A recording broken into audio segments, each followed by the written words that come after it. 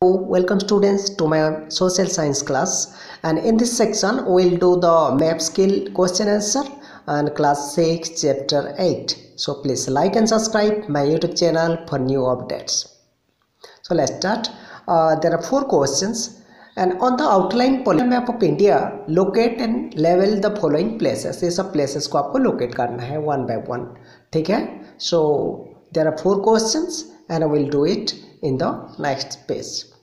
Get ready? And this is one a one of the cities of harappan civilization. Okay? It is in gujarat and that is lothal second one place Ashokan of Ashokan inscription found that is in maharashtra sopara and third one the place where red fort is situated that is delhi and fourth one one of the archaeological sites that is bhimbetka it is in madhya pradesh.